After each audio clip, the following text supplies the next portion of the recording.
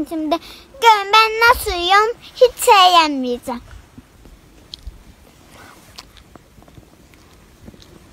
İşte bakın buradan kopardım. Bakın şey yenmedim.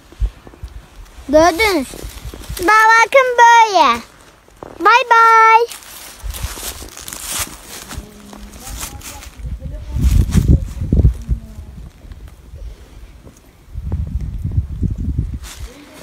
O sunlar çekeyim. Bakın. Çocuklar. Bakın bunların adı Çiğdem. Şimdi size daha çok göstereceğim. Gelin şimdi çocuklar. Gelin gelin. Bakın.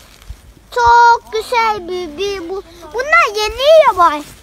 Bunlar bak bunlar yeni yiyor. Kim isterse e, Ankara çiğdemi Türkiye'de endemik olan sarı çiçekli bir çiğdem türüdür.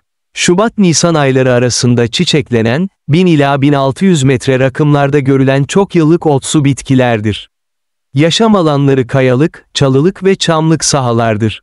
Şeker ve nişastaca zengin bir bileşime sahip olan soğanları Anadolu'da çiğ veya pişirilerek tüketilmektedir.